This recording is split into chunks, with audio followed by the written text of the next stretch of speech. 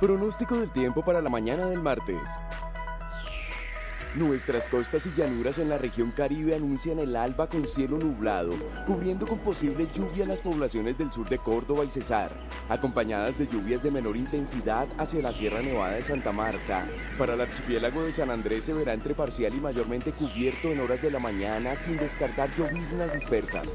Para las costas del Pacífico la nubosidad vendrá variando con las brisas, acompañada de ciertas lluvias al norte y centro de Chocó y en el litoral. Sobre la capa de la región andina, Nuestras montañas amanecerán con mayor nubosidad, especialmente al norte de la región, y lluvias en zonas de Antioquia, Santander, norte de Santander, Caldas y norte de Tolima.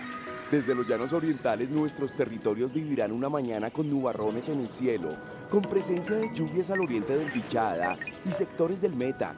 Mientras tanto, si seguimos al sur del país, vemos que los cielos también dejarán caer sus lluvias matutinas en zonas de Guainía, Baupés y Amazonas, Finalmente madrugamos en la capital, sin olvidar que en el día de hoy lluvias ligeras afectarán algunas zonas de los cerros orientales y del sur de la capital. Ahora, mucha atención a las principales alertas para hoy a nivel nacional. Alerta roja por alta posibilidad de crecientes y en algunos casos con posibles desbordamientos del nivel en ríos y riberas ubicados en los departamentos de Guainía, Sinú, Córdoba, Chocó y Santander. Alerta roja por alta probabilidad de deslizamientos de tierra ocasionados por las fuertes lluvias en algunos municipios ubicados en el departamento del Chocó. El IDEAM rinde cuentas a los colombianos. Te invitamos a participar en nuestra audiencia pública de rendición de cuentas para la vigencia 2016 y primer semestre de 2017. Síguenos vía streaming el próximo 31 de agosto de 2017 en nuestras redes sociales.